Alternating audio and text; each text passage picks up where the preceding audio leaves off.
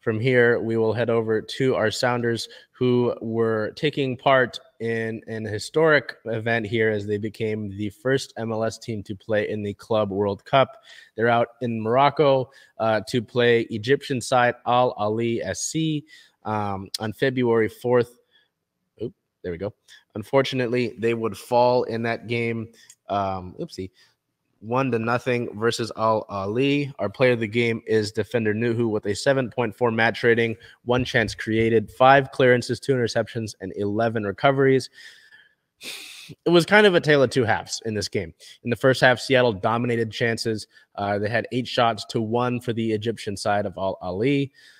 Um, there were a lot of good but not great chances on net. Uh, but that sort of sense of the attack that you had, the pressure you were able to put on your opponent, things were good for the Sounders in that first half. In the second half, they had a nice opportunity in the 50th minute, so just kind of really fresh out of the gate, where young midfielder Josh Atencio was able to get a nice shot off uh, that went off of an uh, Al Ahly defender and almost almost uh, snuck under Egyptian uh, Egyptian uh, Al Ahly goaltender Muhammad Al Shanawi.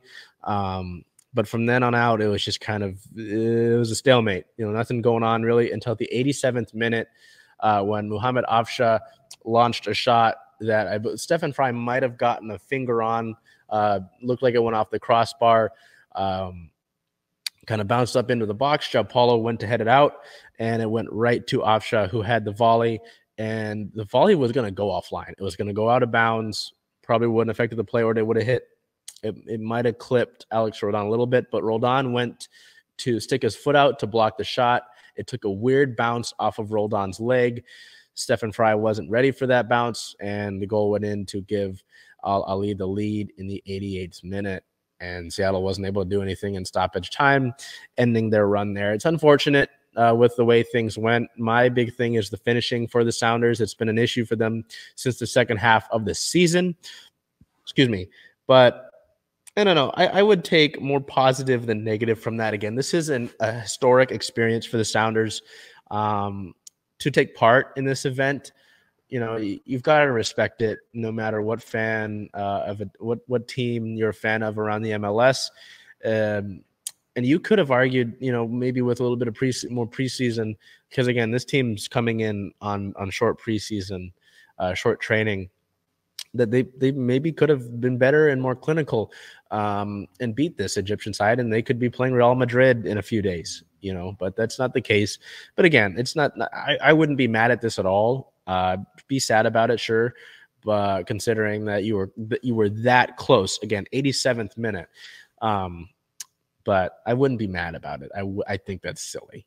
Um, so this was a topic last week, and it's the same photo, but we do have more of an update on João Paulo. So on the first, we found out that João Paulo would feature in Seattle's match in the Club World Cup. It's just the number of minutes that will fluctuate for him. He came in in the second half as a substitute um, for Seattle, and it was good to see that. The other news that we got uh, on the day of the match was that Obed Vargas would not play against Al Ahly. So, hoping that the injury uh, the injury news related to Vargas is not serious, not something long term that we'll have to worry about. Looking ahead for our Sounders, they will play a preseason friendly against Louisville City FC. Uh, that is to be determined the time and the place. It's uh, it's a preseason match for Seattle before this. It should be their last one before they open the MLS regular season.